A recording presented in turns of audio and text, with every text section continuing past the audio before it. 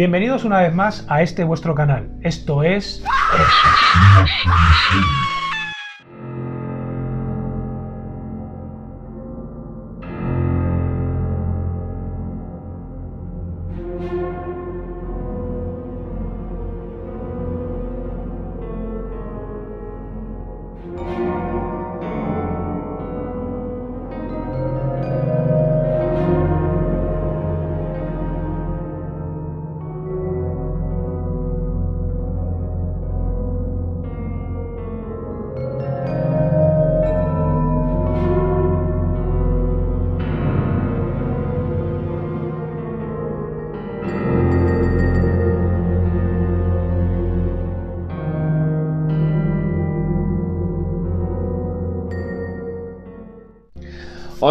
vamos a hablar de, un personaje histórico de nuestra ciudad.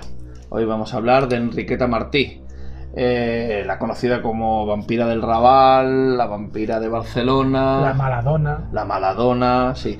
De esta mujer se ha escrito mucho. O sea, creo que ahora, por fin, podemos empezar a decir que tenemos en Barcelona nuestro propio Jack el Destripador. Sí. Hasta hace un tiempo eh, daba la sensación de que a este personaje se le ocultaba, ¿no? Era como Barcelona fea. Siempre se intenta vender esa Barcelona internacional, bonita, Gaudí, Sagrada Familia. Y es un tema que, los, los, yankees, los británicos, o sea, tienen muy interiorizado el hecho de que sí, tú puedes vender, tú puedes vender tu, tus partes buenas, ¿no? O sea, puedes vender Londres, puedes vender Nueva York, pero también está muy bien vender tu, tu fama negra, es decir, Jack el Destripador, eh, Charles Manson, aunque no nos guste, o sea, quiero decir, lo venden muy bien. Aquí tenemos esto, aparte de todo esto sí que sí que es cierto que la ciudad de Barcelona es una ciudad bonita, abierta al mar, con mucha luz, una ciudad muy cosmopolita, una ciudad de artistas, una ciudad de, de todo. Aquí, vamos, eh, lo, hay de todo en abundancia, sí, pero de todo. Pero el personaje que nos ocupa hoy pertenece a un momento de la ciudad en que era una ciudad peligrosa, oscura, sucia y muy violenta. Era un tiempo muy convulso. Eh, estábamos muy cerca en las fechas en la Semana Trágica.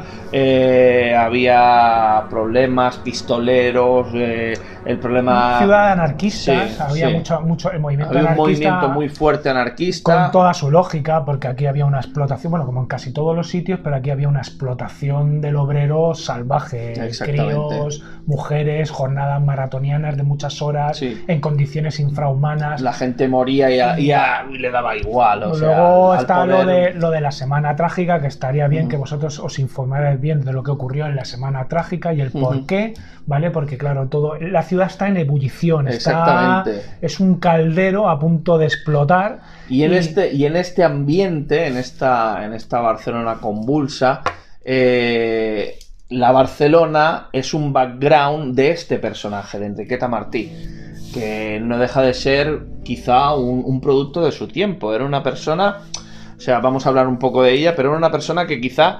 eh, se había endurecido y... No tenía, no tenía otra opción tampoco, Por eso. ¿eh? O sea, a ver, eh, ejercía la prostitución, pero es que muchas mujeres tenían que ejercer la prostitución para poder sobrevivir. Exactamente. O sea, no es que fuera una cosa para lujos y tal. Aunque esta mujer es bastante extraña sí. Por el tema de que por las mañanas eh, iba vestida como una pedigüeña, o sea, mendiga. se frecuentaba sitios donde eh, albergues y sitios donde, donde se daba limosna y tal. Y luego por la noche es como se transformaba, ¿no? Llevaba incluso vestidos de lujo, vestidos de, de, modistos parisinos. Sí, que, les hacían, o sea, ¿Cómo hay, constancia, hay constancia de que le hacían vestidos. Eh, Efectivamente, como una persona así, para ella. como una persona así podía llegar eh, a estar digamos, porque claro, no había, la clase media prácticamente no existía. No, en esa época no existía. Eh, una persona que venía de, una parte de la ciudad totalmente oscura, mm, siniestra, eh, con una miseria atroz, atroz, o sea, bestial, ¿vale? Eh, como una persona así, luego de golpe y porrazo aparecía en sitios como el Liceo, ¿vale? que es un famoso, es un famoso teatro ópera que está justo en las Ramblas de Barcelona, donde allí la burguesía eh, bueno, frecuentaba, ese, frecuentaba ese sitio, porque aparte la gente no tenía para comer, ¿cómo iba a, frecuentar un, sitio, un, sitio, así? La, alta, la alta sociedad. La Igual que el casino de la Rabasada. Correcto, el casino de la Rabasada que en el casino. Luego, sí, luego hablaremos del casino, no, no, nos adelantamos, nos adelantamos y no Pues vamos a hablar de Enriqueta Martín. Eh, era una mujer que nació en San Feliu de Llobregat en 1868. Eh, y bueno, se vino a Barcelona relativamente... Familia, familia de payeses. Sí, tenía propiedades allí, o sea, durante toda la vida mantuvo ciertas propiedades en San Feliu. Al margen de otras tantas propiedades, o sea, con lo que ya el hecho de miserable, de una vida miserable, tampoco era cierta no, no Encaja, cuando, no, encaja... cuando tienes ciertas propiedades en, eh. en, en varios puntos de la ciudad y en otras poblaciones. Pero bueno, luego seguimos con esto. Eh, se, muda, se muda a Barcelona para trabajar de, de miñona, de niñera, o sea, de cuidar, de cuidar niños para, para, otra gente.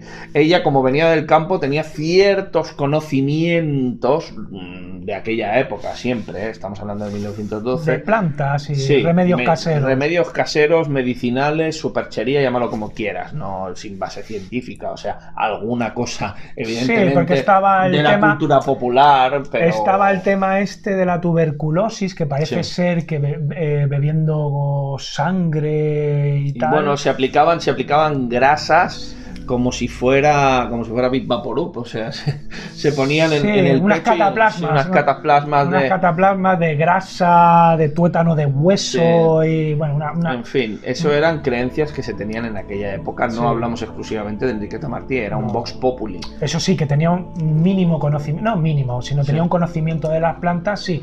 De, de, hecho, esas plantas pues también provocaban abortos, sí. cosa que ella sí que se dedicó, esto está está comprobado que que, eh, se dedicaba a practicar abortos y que aparte, pues este conocimiento de las plantas eh, le hizo crearse una cierta fama de curandera.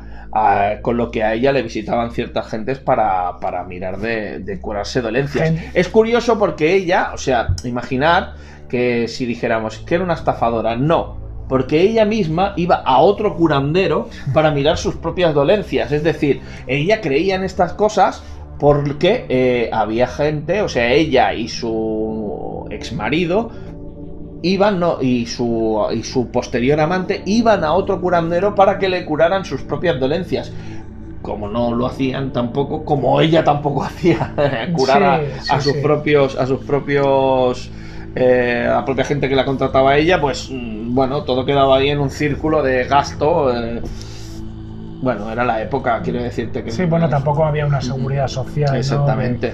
O sea, no, si no podías pagarte un médico, que mira tu médico en 1912, pues... prácticamente no te podías llevar un chusco de pan como te podías permitir. Y aparte, eh, en las condiciones de insalubridad que había, que eso... Horrorosas. Tuberculosis, bueno, que yo corría como... Imaginaros, imaginaros, finales del siglo XIX, principios del siglo XX. Sí. Eh, pues la situación, no solo aquí, sino en Londres, bueno, el Jack el Destripador es de 1888, finales del 19, y porque digo, ¿por qué digo Jack el Destripador? Pues digo Jack el Destripador porque es el que más películas ha hecho, más ambientado aquella época, aquella época victoriana, ¿vale? Y entonces solo tenéis que ver, por ejemplo, por las calles, ¿no? Las calles estrechas que apenas entraba luz. Aquí en Barcelona eran las calles iguales, calles muy estrechas donde apenas entraba luz. Eh, la gente, claro, ventilar, aquello había que ventilarlo porque a la que había una... Aparte la gente, la gente tenía gallinas y animales en su propio... Efectivamente, que eso es muy importante. Esto que acabas de decir de lo de las gallinas y de, los, de los pollos y todo lo que tenían en el de esto, es muy importante porque esto es un detonante sí, del caso. Del caso. Bueno, pues Enriqueta Martí eh, viene como miñón aquí a, Barcelona. Comienza a ejercer primero cuidando niños, luego ve que hay un cierto negocio ahí. Y esto está confirmado, o sea, a mí no. Eh, hay una vertiente actual de blanquear al personaje y, se obvían datos, ¿vale? Esta mujer en 1909 fue detenida y, y, consta la detención, existen documentos sobre su detención porque se dedicaba al proxenetismo de niños, de niños pequeños había empezado a ejercer una doble profesión. Es decir, trabajaba como curandera, eso ya lo hemos dicho, y en 1900 la detienen, en 1909, por eh, proxenetismo infantil. O sea, eh, de hecho existe, existían una, serie de fotos donde aparecía con una chica de 18 años que luego a posteriori eh, apareció en los juicios. bueno, no llegó a, haber un juicio por, por el tema que nos, que nos atañe, pero en los careos sí que apareció una de las chicas que aparecían en estas fotos de proxenetismo infantil. Ella ya había estado dos veces en la cárcel cuando la detienen la vez final. Es decir, había estado detenida por prostitución, por mendicidad, Quiero decir, eh, no es este, este ser de luz que algunos intentan vendernos ahora. O sea, sí que era un producto de su tiempo, sí que era producto de una Barcelona violenta, miserable, analfabeta, donde cada uno se buscaba la vida, pero bueno, había formas de buscarse la vida. Quiero decir, si tú prostituyes a niños, pues no eres precisamente eh, la alegría de la huerta ni, ni la persona más bondadosa del mundo, por muy miserable que seas, porque ella vivía en un edificio donde había muchísima otra gente y yo creo que la única que se dedicaba al tema era ella. Pasa que bien, bien, ciertamente, es cierto lo que dice aquí el compañero, que, que ahora intentan como darle ahí un... Bueno, esto es, es un negocio. Sí que es cierto que hubo, que hubo, que hubo un, un enseñamiento contra ella, se le cogió como cabeza de turco, se chivo expiatorio, la, prensa, amarilla de la, de la época lo, lo, sumó todo a ella, es decir, aprovecharon una este cabeza, caso. Una cabeza de turco. Sí, sin ninguna duda, y eso no hay ninguna duda. no, estamos hablando de un ser de luz, no estamos hablando de una buena persona, realmente era una mala persona, o sea, una persona que prostituía niños y que seguramente eh, en, en, ese, en ese ambiente eh, habían muerto niños y posiblemente en sus manos también. Esto quedó claro, quedó demostrado, bueno, nunca se sabrá. Pero ella en el juicio llegó a decir cosas, cosas que han quedado han quedado transcritas y no estamos hablando de prensa amarillenta que se, que se imagine cosas, no, es que hay transcripciones de sus conversaciones en los careos. Repito, no hubo juicio, eran careos. Llegó a hacer comentarios eh, muy autoinculpatorios. Es decir, llegó a decir cosas que la policía no sabía y que una vez dicho por ella se comprobó.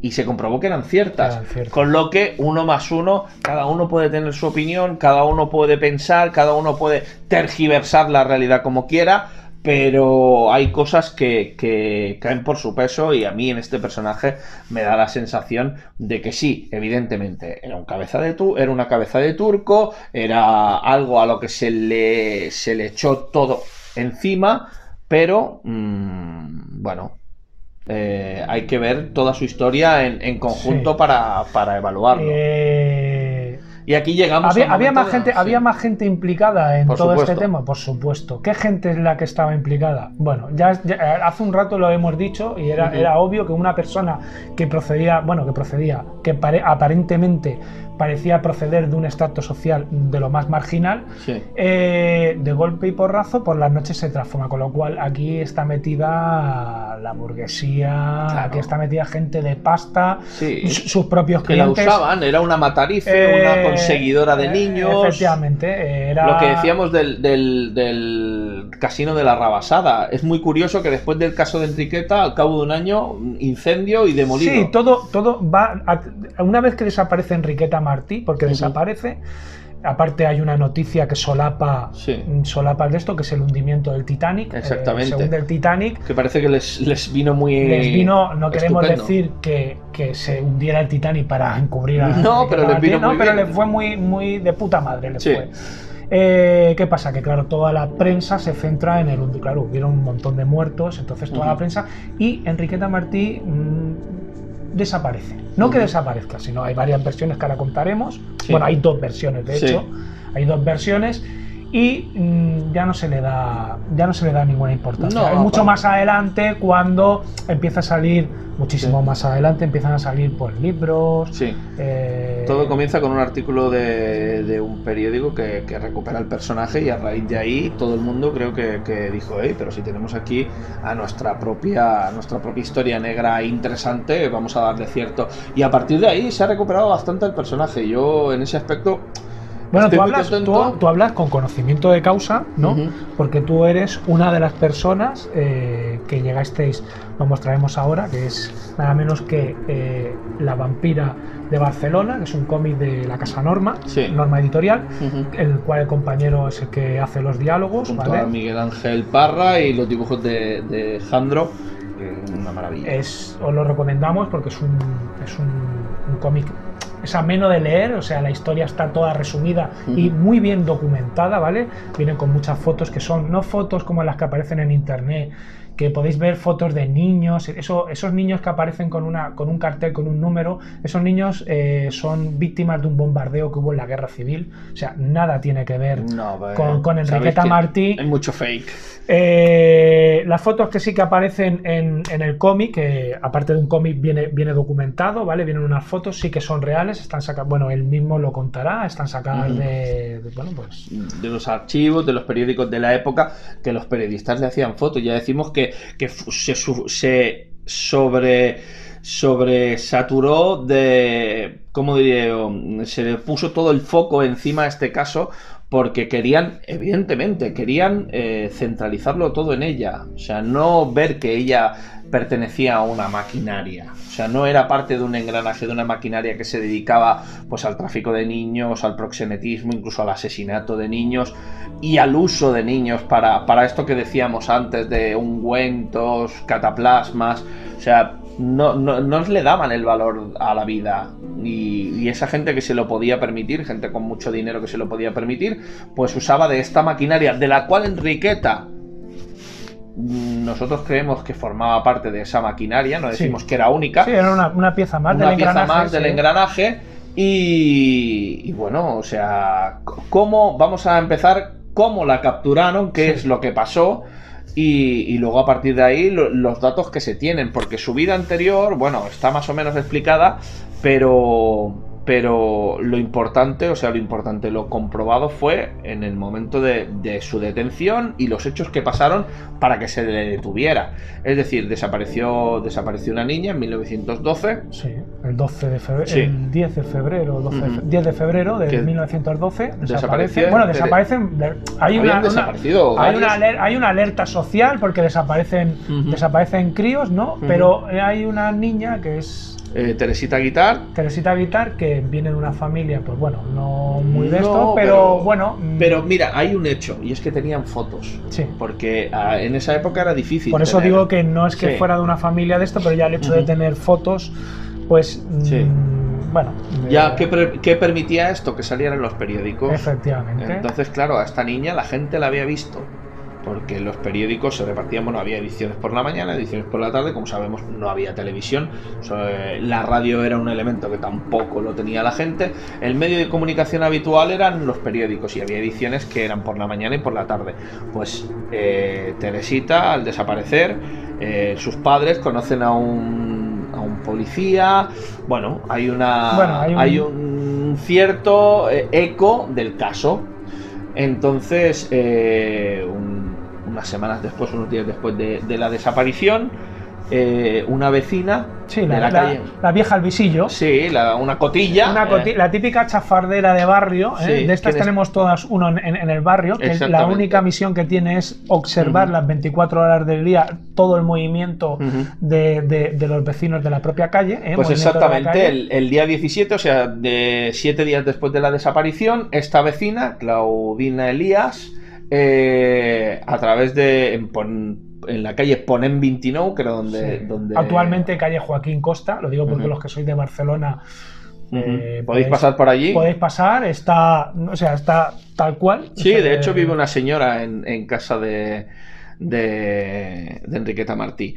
Pero bueno, y, y, bueno, de esta señora se deja entrar a, a la gente, hacer fotos, ha habido reportajes. O sea, Sí, a más de uno, más de uno, más de uno sí que ha tenido el de esto, de, pero bueno, que tampoco es una Bueno, cosa es una que casa, es una casa, tampoco, os tampoco. decimos que vayáis todos ahí a tocar pobre- a la pobre señora. pobre señora, y, si por te- y saco. si queréis ir, pues llevarle, yo que sé, una caja de bombones o Claro, un igual, detallito. pues, eh, y si mira. tenéis suerte, pues podréis ver el de esto. Pero bueno, en ese, En ese- esta en ese señora, piso- la vecina, Sí, vio a través de la ventana eh, como una niña, una niña rapada, pero que a ella la cara, evidentemente, le sonó al periódico, a la foto que había salido en el periódico de la niña desaparecida. Eh, entonces puso en aviso a un... habla con el colchonero. Sí, con el, el típico, Mm. bueno, colchonero, una casa de colchones. sí. Se lo dice, pero no se lo dice a modo de cotilleo, ¿eh? No se lo dice, hostia, mira que tal. No, se lo dice, mira que he visto ahí una niña y tal, y me parece a mí Sí, que es que la... es- me suena que es la niña esta que Sí. días atrás ha sido secuestrada, la Sí, se lo dijo así, eh, lo dijo como así. tú dices.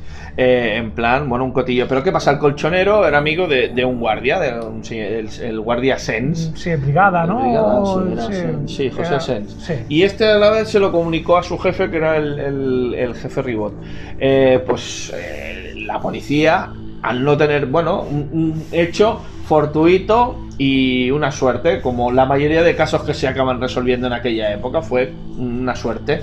Eh, decidieron poner bajo vigilancia a, a Enriqueta, que aquí viene uno de los, de los puntos clave que yo siempre le digo a la gente esta que, que intenta, pues eso, blanquear mucho al personaje, o sea, a mí no me importa que se le blanquee Pero no vamos a dejar que la blanquee. Claro, pero, pero, por ejemplo, eh, durante, durante, esta, durante este seguimiento que le hicieron a ella, constatan que en la casa hay tres niños.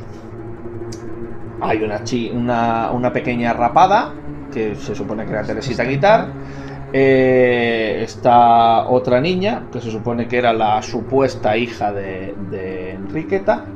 Y un niño pequeño. Sí, este es aquí el Eh, que- eh, aquí eh, entramos ya en el terreno de la hipótesis, porque este niño pequeño han comentado que si era hijo de un vecino, que nadie luego supo decir de qué vecino. Porque claro, si es un hijo de un vecino y a ti te están diciendo que es un niño que ha muerto, lo más lógico es que dijeras, no, es que este es Juanito Pepito de los Palotes, que vive en el cuarto segunda, que es el hijo de mi vecina tal, y que venga la hija de la vecina y diga, no, no, sí, mi hijo estuvo jugando en esa casa. Además, una persona que se dedica a lo que se dedicaba Enriqueta, dudo mucho que se dedicara a, a- a guardar, a, a tener niños en su casa de los vecinos sí, para que es que esto. Pero bueno, eh, había un niño allí, un tal Pepito, Eh, sí, justamente. el Pepito, Pepito. Y, y entonces, eh, bueno, eh, durante estos tres días que la tienen bajo vigilancia, Se inventan, un, se inventan un rollo, porque había una normativa. sí, Eso hablábamos eso, antes. eso fue cuando la fueron a detener. A detener. Sí. Sí. pero bueno, hay un. Bueno, sí, cuenta, cuenta. cuenta. No, eh, básicamente eso, cuando, cuando durante esos tres días eh, llega un momento en que ese niño deja de aparecer en, en la, en, en lo que están ellos vigilando a través de las ventanas, ese niño ya no está. Y en un momento ven salir eh, a, a Enriqueta, que va a los lavaderos a lavar ropa y tal, y se sospecha que, bueno, tira cosas y no se sabe muy no bien, sabe. pero bueno, hay ahí un tema que dice... La cuestión es que el niño desaparece Sí, y no se sabe dónde, dónde está el niño, Sí, ni tampoco. Ahora vienen ya las super. Bueno, todo lo que, Sí. lo que de esto. Bueno, pues tras esa, tras esa investigación, bueno, ese seguimiento, ¿vale? Sí. Eh, en, en aquella época había una normativa que no se podían tener aves, porque la gente, claro, igual tenía gallinas en, en los balcones o terrazas Sí. o. Bueno, de todo tipo de esto, y entonces, como no era muy, muy saludable el, el vivir con, con- con este tipo de, de- de bichejos, ¿no? Exactamente. Eh, con esa excusa, detienen a Enriqueta Martí y le dicen que ha llegado una denuncia Sí. de que ella tiene eh, bueno que tiene gallinas o pollos en, Sí. en el esto entonces ella claro se ve en la situación de que ostras eh, si aquí ahora mismo claro no tiene otra, otra otra alternativa que dejarles entrar en el piso y que y demostrar porque ella verdaderamente no tenía gallinas tenía de todo menos gallinas Sí. Eh, demostrar que ella no tenía gallinas y ya está. Eh, supuestamente eh, ese niño ya no está. No, no, no, está. en ese momento ya no quedan, aparece. quedan dos niñas, una Sí. de ellas es Teresita Guitar. Y la otra es Angelita, que es la supuesta hija de Enriqueta, que luego un, un médico dictamina que ella nunca ha parido. Con lo que la hija, supuesta Angelita, hija suya, pues evidentemente no es hija Esta suya. parece ser. Que es hija de su hermana Esa- con un cura. Es su tía. Sí, Es su tía. Sí. O sea, Enriqueta Martí es tía de esa niña, sí. pero que la niña piensa que es verdaderamente porque se la arrebata su cuñada. Sí.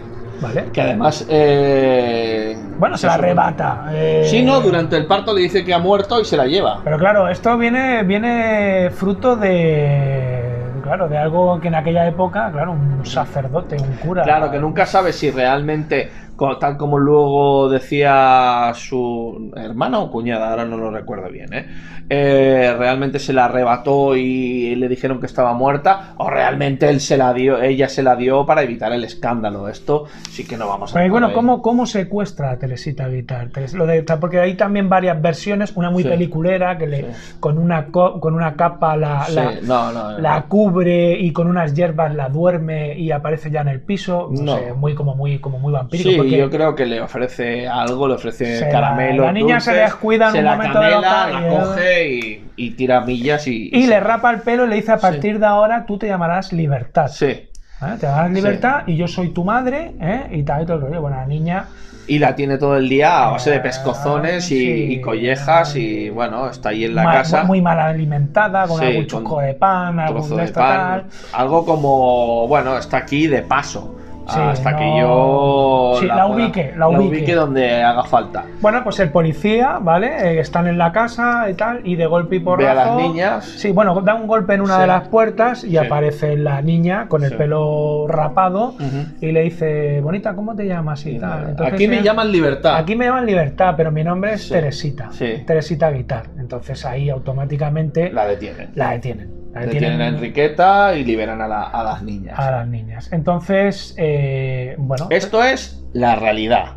Esto es lo que de pasó. hecho hay una foto, creo, de la Sí, de la detención. de la detención y, bueno, hay varias fotos que, que es a raíz de lo del...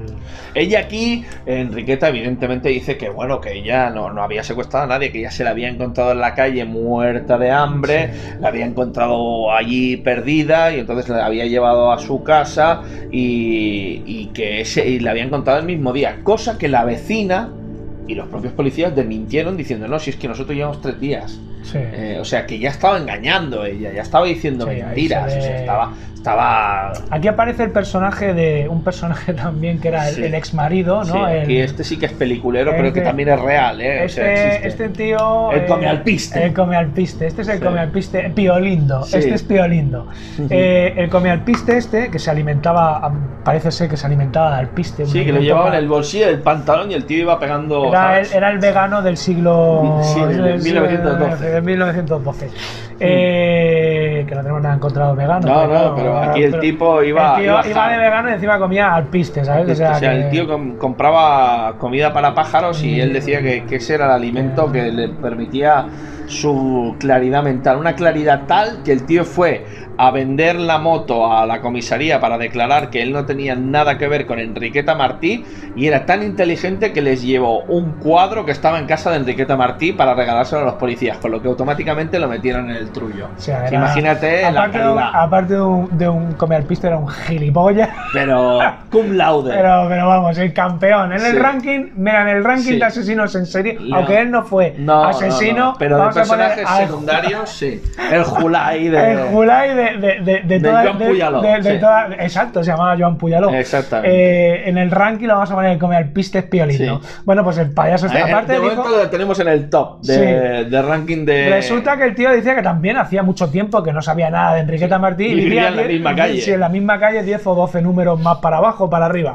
Sí. En fin, que era un personaje de. mucho cuidado. este sí que da para. Este da para serie. De, aquí, de aquí te espero. Da para spin-off. Y bueno, en, la- en- en el registro de la casa Sí. parece ser, aquí ya volvemos otra Sí. vez tal, hay una puerta, o sea, una habitación con Sí. la puerta cerrada, abren, abren esa, bueno, eh, rompen el de esto. Pues la casa es bastante miserable, Sí, ¿eh? Donde una- viven, eso realmente es así. Son pisos muy pequeños, Sí. realmente son, ah, de hecho lo podéis ver, son pisos muy pequeños, muy de esto, Sí. y, y bueno, en- entonces entran en esa habitación y esa habitación es como, como un cambio, ¿no? En el, en Sí. el- como si fuera un Una cambio habitación de lujo absoluto, con una cama, un armario. Dicen unas corti- unos dicen cortinas azules, Sí. otros dicen rojas, no sé. bueno, pero, pero en definitiva era un. Parece ser que encuentran un grimorio o un, un libro, un, un vademecum de las hierbas escrito Sí. con pócimas y tal.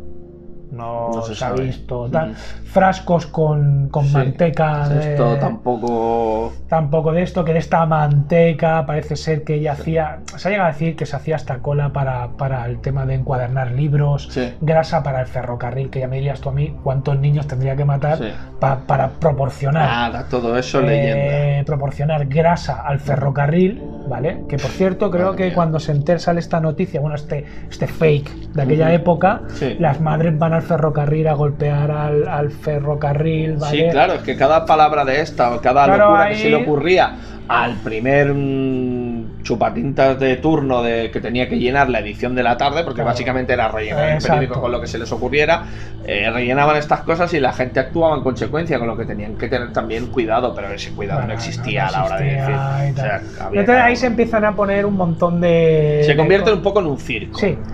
La misma, la misma noche, bueno, ese día que es detenida, que es el día... Intentan lincharla cuando Sí, llega. bueno, los- eso sí, eso por supuesto. Ella, ella eh, la llevan a los juzgados Sí. y de allí una vez es- ingresa en la prisión de Reina Amalia, la prisión Sí. de mujeres de Reina Amalia. Que por cierto ingresa en la, en la celda de las distinguidas. A ver, eh, este tema que dice mucha gente, eh, si tan miserable era, para ingresar en una celda de distinguidas solo ingresaba la gente de la alta burguesía que pasaba por la cárcel. Quiero decir que allí, en, en este- en las cárceles de esta época, ¿sabes? Si pagas, mandas. O sea, Can- San Peter, ¿sabes? Ya. Y entonces esta mujer ingresa directamente en, en- en las celdas de las distinguidas, donde tenía su mesa para lavarse, su lavabo. Incluso le ponen, le ponen unas reclusas de Sí. confianza, como, como Sí, para actualmente se hace, sí, para, para evitar para evitar- suicidio. Que parece ser también que ella se agencia una cuchara de palo, Sí. Que esto también de esto, Bueno. y para intentar cortarse las venas. Yo no sé cuántas veces tendría que darse con la cuchara de palo. Ya ves. para cortarse las venas. Pero bueno, esto es otra de parte de la leyenda, o no leyenda, ¿vale? O no leyenda de, de- de Enriqueta Martí. Bueno, pues en todo esto le encuentran también que tiene ciertas propiedades, una en la calle Tallers, un piso en la calle Tallers, otra en el barrio de Gracia, de. Gracia puede ser, en Jocs Florals. Sí, en George Florals. Ah, y tiene varias y tiene varias casas también por ahí en, en algunos pueblos. Donde- sí, sí. que bueno, que tiene propiedades. Sí, o sea, que no es una persona- Que dinero ganaba. Sí. Dinero ganaba y, y bastante. Hay gente que no le da eh, importancia a la declaración de Angelita. Angelita, la supuesta hija de, de Enriqueta, Sí. Ah, en una de las declaraciones Sí. eh, a, a los periodistas, en los careos, tal y cual, comenta eh, sobre el tal Pepito, el, el famoso Pepito. Eh, para ella, o sea, ella, sin ninguna duda, o sea, dice que, que- que el Pepito, ella había visto cómo lo había matado en la mesa de la cocina. Eh, ¿Qué, qué- qué de cierto tiene la, la- la declaración de esta niña? ¿Es es Claro. inventado por esta propia niña o...? Es una cosa, no sé. Es que el, el caso de Pepito es un caso bastante, bastante extraño, porque entra dentro también de la otra teoría. Sí. Entra dentro de la otra teoría, que la teoría es que Enriqueta Martí, bueno, encuentran trampos con sangre, un cuchillo Sí. ensangrentado Ropa de niño. ropa de niño, tal. Pero hay un, ahí está la otra versión que al parecer eh, Enriqueta Martí padecía un cáncer de útero, ¿vale? No se sabe. Eh, sí que hay en la meroteca de los de no sé si es de la Vanguardia o de, un e- de uno de los periódicos de la época que actualmente todavía sigue vigente, ¿vale? Eh, sí que hay una de esto, una, hay una de la noticia, no recuerdo bien bien la fecha, en la cual parece ser que se desplazan dos forenses a la cárcel, le hacen Sí. un chequeo y parece ser que sí que ellos eh, confirman de que Enriqueta Martí tiene un, un cáncer de útero. Que al parecer esas sábanas llenas de sangre eh, podrían haber sido de, De ella. de ella, Ujú. Esto es, es- es una, es una, es una, de la- Hipótesis. una hipótesis, sí. Ujú. Eh, y que lo del cuchillo eh, no existía el acero ino- no es que no existiese, es que el acero inoxidable, como lo Ujú. conocemos nosotros, Sí. eran cuchillos de hierro de estos de, de, bueno, cuchillos que para lo que servían. Y que eso podía ser el óxido ferroso propio del cuchillo, que tampoco se demostró de que eso fuera, tampoco había una base de datos, no estamos, claro, estamos hablando de principios del siglo XX. No, no, no está muy, muy claro, no está muy claro. Entonces, eh, en la prisión, que estábamos hablando de la prisión, de que ella parece ser que se agencia una, una cuchilla, una, una cuchara de palo para intentar cortarse las venas y tal y todo el rollo. Parece ser que aquí, eh, de las dos versiones, una de ellas es que las presas, las propias presas, la matan en la cárcel. Aparece, aparece un personaje misterioso que parece que va a la cárcel, que no tiene que de esto, que este personaje es como el que da la orden a estas presas para que se la quiten de en medio. ¿vale? Y la otra, y la otra versión es Lo que que... decimos, parte de la maquinaria, que bueno, cuando e- eso, ¿sabes por qué sucede? Porque ella en un momento del- en los careos, durante mucha parte de, de estos careos previos al juicio y tal, ella tenía una soberbia y una actitud muy de yo voy a salir de esta sin ningún Sí, estaba problema". como muy segura Sí, de que alguien le sí. respaldaba. Y llega un momento en que ya no está tan segura. ¿Vale? Le debieron decir algo, debió pasar algo, y en Ah, ese porque- como que le iban a cortar el grifo de, Porque el día, ayuda. el día, el día, eh, perdona que te interrumpa, porque el día, el día que la detienen, esa Sí. misma noche. Aún habiendo guardia de la policía, eh, Asaltan. burlan, bur- burlan la guardia de la policía Sí, y bueno, la guardia, asaltan. imagínate, Eso era un la piso. guardia, sí, la guardia estaba de, Sí, de tasqueo. Ahora se dedican a los donuts y antes se dedican al, al tasqueo. Eh, La, la guardia esta, eh, bueno, eh, burlan la guardia y entran dentro del piso y se llevan del piso un colchón. Sí. A, a saber lo que había en el coche. Efectivamente, ¿vale? Eh, pero es que aparte de eso, luego en una segunda inspección encuentran otras cosas que en la primera inspección no habían encontrado, con lo que da la sensación que habían dejado también cosas. Con lo que ya eh, las pruebas son totalmente adulteradas, con lo que no te puedes fiar absolutamente de nada. Pero lo que sí que te puedes fiar es de las palabras de Enriqueta. Enriqueta en uno de los careos con su padre, eh, bueno, hablan de Pepito, le pide a, que, a su padre por favor que no la que no la mierde más porque al final la van a matar por culpa de él. O sea, él, Sí, ella por- tiene una ascendencia sobre el padre tremenda, sobre su propio padre, pues su padre vivía con ella. Y entonces ella tiene como un control sobre el padre, pero el padre es muy mayor, dice cosas que a ella no le convienen.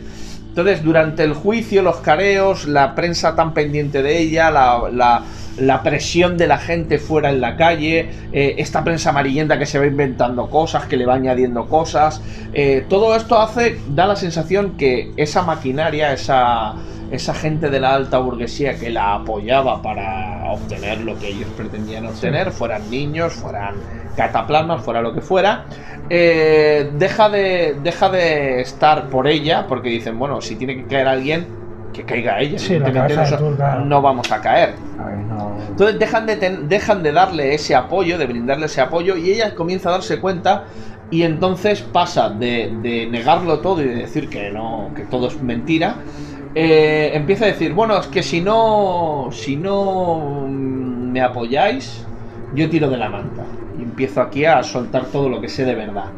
Entonces ahí da la sensación de que ese darle perejil final posible, que no se sabe si es cierto o no, vendría motivado por, por estas amenazas de ella, porque empieza a decir pequeñas Sí, cosas. empieza- Ella empieza a decir, bueno, es que había una lista. Abre, abre Ha- la, caja, la, la caja, la- la caja de Pandora, ¿no? Sí. Empieza tal y Empieza a ahí se- insinuar, que no se sabe Exacto. si es cierto o no, que había una lista. Lo que sí que había eran unos papeles con unas notas anotadas en código. También, pero que, también que hay- podían ser dinero, podía sí, ser una esto de, contabilidad, eh, podía ser algo- cualquier como algo cosa. enci- eh, encriptado, ¿no? Sí. También, también hay una, una de esto, que de esto poco se, se- se habla o poco se dice.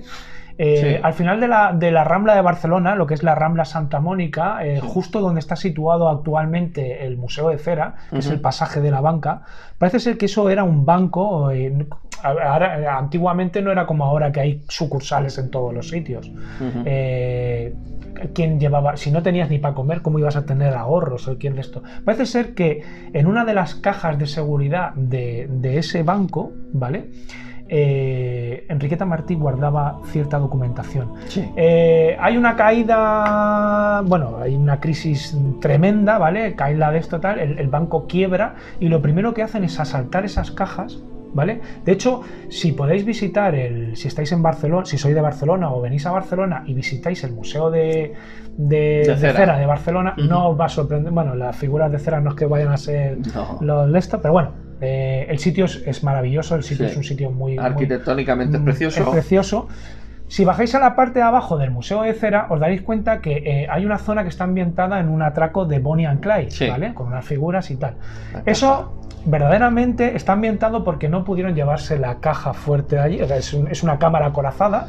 De hecho, cuando vayáis a entrar veréis que está todo, todo como abierto, ¿vale? Está como si con una lanza térmica hubiesen intentado... Claro, tuvieron que hacer eso para poder tirar la chapa. Y una vez que estéis dentro os daréis cuenta que las cajas son las mismas cajas y las cajas están todas abiertas. Han recreado esa escena, han aprovechado porque el que compró el Museo de Cera, un tío que venía de... Bueno, había hecho escenarios para Hollywood, un tío que compró esto. Yo os recomiendo que vayáis, Ujú. es un sitio de esto. Y parece ser que en una de esas cajas, Enriqueta Martí también tenía documentación y rápidamente se apresuraron. Esto también es una cosa que, que también se comenta, que bueno, que está ahí y tal. Cierto es lo del pasaje de la banca, lo que os comentamos, si vais podéis comprobar, verificar de que aquello era una, una cámara corazada.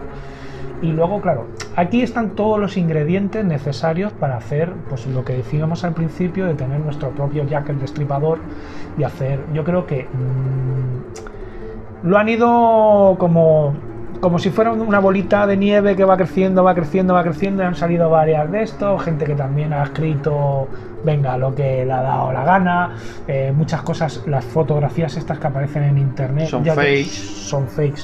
Y luego cada uno tiene su opinión. Ahora también es cierto eh, las transcripciones de las cosas que ella decía. Sí, sí, eso- Porque, eso por ejemplo, en uno de los careos, eh, que esto me hace mucha gracia, ella dijo, bueno, pues si vamos a caer, caemos todos. Claro, es ahí Y dijo, y dijo, podéis picar las paredes de las casas, que piquen en las paredes y verán lo que encuentran. Y entonces la policía va a picar, a- o sea, realmente le hacen picar, casos picar se refiere a, a tirar, tirar a abajo tirar, es ciertos tabiques falsos que había en, algunas de sus propiedades. Y ahí empiezan a salir huesos y huesos y huesos que muchos, eh, los forenses de aquí, comprueban que eran huesos que habían sido hervidos. Y se comprueban que eran humanos. Porque esto Sí, luego hubo sí, una sí, polémica, ¿vale? O sea, cuando se comprueban que hay huesos humanos y que hay muchos, hay mucha gente que dice, bueno, es que esto era de los abortos que ella practicaba. Bueno, es que en realidad no eran humanos, eran de animales. Bueno, esto lo dijeron unos forenses que vinieron de Madrid. Curiosamente, antes los forenses de aquí habían certificado que eran huesos humanos. Y luego llegan unos forenses de fuera y se dice que no, que eran de animales, concretamente Sí. de gallina. Bueno, a ver, eh, un señor forense tiene que saber diferenciar entre un hueso de gallina y un Bueno, hueso es humano. que no necesariamente Entonces ahí- tienes que ser forense para darte cuenta de lo que es un hueso de cualquier ave. Entonces ahí eh, yo creo que había unas presiones políticas de gente que estaba muy enfangada en este tema. Enfangada en el sentido de que eran, de que eran clientes de Enriqueta y tenían el poder y los mecanismos necesarios para poder influir y para poder decir todo eso que han encontrado, oye, di que son animales y fuera. Y luego- Y esto es una opinión mía. ¿Vale? Esta es mi opinión. Luego hay otros que, bueno, de- blanquean completamente al personaje, dicen que fue una maravillosa persona y que, mira, Teresita Guitar se secuestró ella sola por la calle.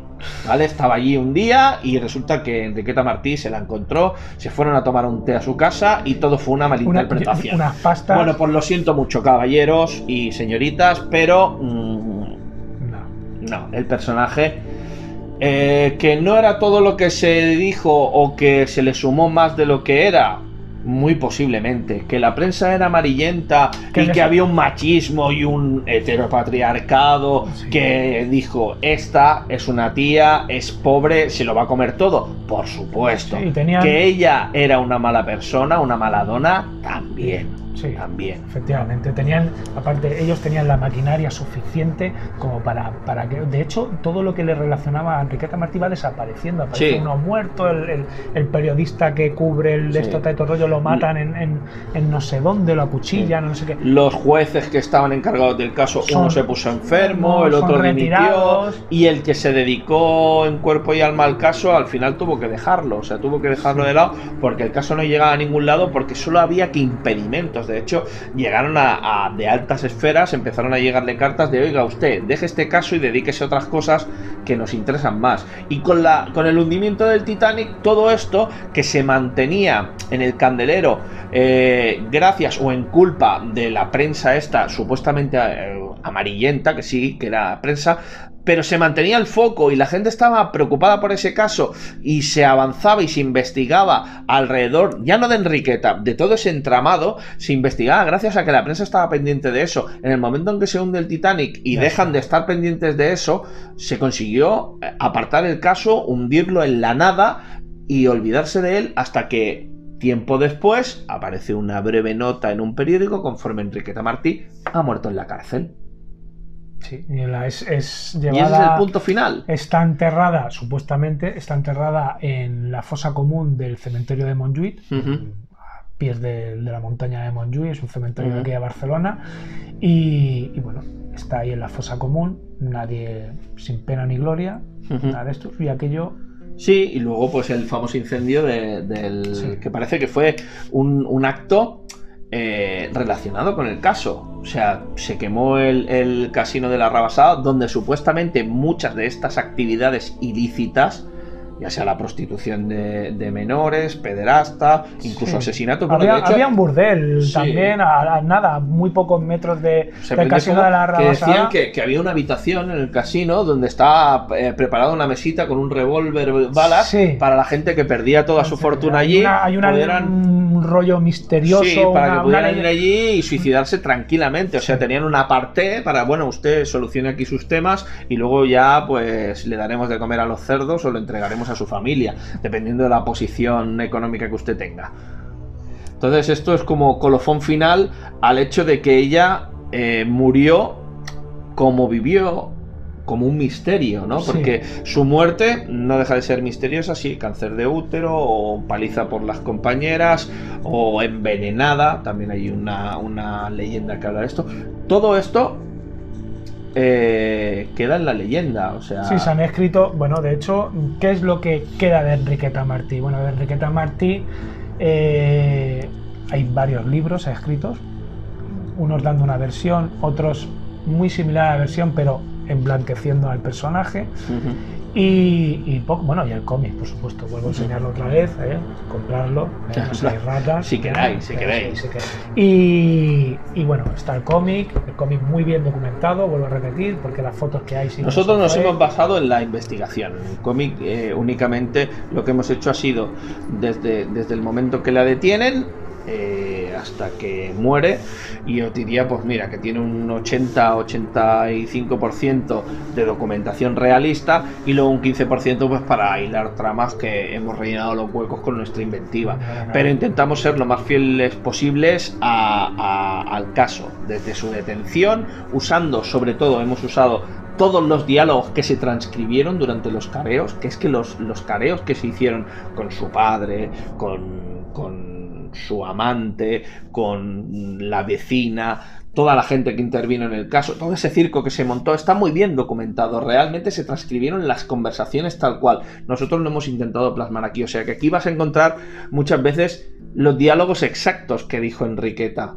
Por eso, a mí me hace mucha gracia según qué cosas que cuentan. Que dices, bueno, eh, a mí el hecho de todo es mentira, bueno, todo es mentira, y, y todas estas cosas que ella Sí, dijo, claro. y todo, y todo lo que se ha comprobado que hizo realmente, todo eso, ¿cómo lo puedes justificar? Ah, es que a un niño no le puedes hacer caso. Ah, es que un niño es eh, muy influenciable. Bueno, pero es que secuestró a una niña. Bueno, es que todo, todo, todo tiene una explicación a ojos de- del siglo XXI. A, a año 2020 todo tiene explicaciones muy, muy fáciles. Pero si, si intentas ver las cosas Claro. En perspectiva, 1912 era una época muy jodida Claro, es- y Enriqueta Martí, eh, sin duda, era un producto de su época. Bueno, y hasta aquí el, el especial sobre Enriqueta Martí, especial porque es larguísimo. Aquí, al que haya aguantado el Sí, el que tostón, ha aguantado el eh, tostón, tiene un eh, premio. Le regalaremos gracias. otro capítulo la Sí. próxima vez. La próxima Vale. vez. Vale, haremos un capítulo muy cortito para justificar Para este. justificar, para eh, justificar el peñazo que acabamos de soltar sobre Enriqueta Martí y que además lo único que hemos hecho ha sido sembrar dudas, porque es, es lo que genera este Pues personaje. como, como en casi todos los Claro. capítulos. Como en casi todos Sí, los generar dudas sobre, sobre el, el personaje y que cada uno, nuestra intención básica no es pontificar, pontificar sobre un personaje, es eso, es que la gente se haga su propia idea sobre él, que busquen información, que busquen la información que dice que ella era una malísima persona y los que dicen que era una vampira que chupaba sangre. Sí, y en por medio todos, todo el resto, en todo el resto de, de opiniones de la, os de la dais gente. cuenta, si os dais cuenta, y eh, sí, se habla de la vampira de Barcelona, la vampira del Raval, pero aquí no aparece ningún vampiro chupando No, sangre no, ni- eso fue un nombre que se le dio ahora, en, en- cuando salió en los periódicos. La mala dona, el- es la mala exactamente, es cuando se le dio, cuando se le dio el, el- el- la vuelta a la fama a raíz del artículo en el periódico, es que ahora no me acuerdo quién lo hizo. eh, seguro que alguien se acuerda y lo pone en los lo pone en el comentarios. comentario ya. Pues eh, a partir de ahí es cuando se le llamó la vampira de Barcelona. Pero hasta entonces de vampiro nada, esto es una cosa actual. Bueno, pues como en todos, eh, dejar vuestros comentarios, Sí. podéis dar vuestras opiniones, siempre con respeto, ¿eh? Ujú. dar vuestras opiniones y, y nada. Y, Nos sea, vemos en el en siguiente, el siguiente, episodio de eh, Asesinos No en Serie. vamos a dar. va, Vamos a dar una pistilla. Sí. Vamos a una pistilla. Ujú. A lo mejor es vuelve a ser la protagonista una mujer. Bueno, en el siguiente o en el siguiente, veremos. Bueno, ahí, ahí lo dejamos. Os dejamos ahí con la Volveremos, ya decíamos, el campo de nabo se tiene que ir acotando un poco. Efectivamente, vamos a igualar ¿Vale? la, Sí. vamos a, a A poner la- la, la balanza. Un fuerte abrazo y un saludo a todos.